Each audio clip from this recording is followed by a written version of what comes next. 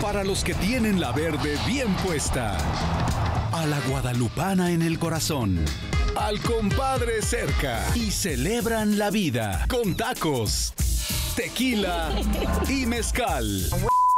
Para todos los mexas. Especial Día del Cine Mexicano. Mañana, todo el día, por Cine Latino.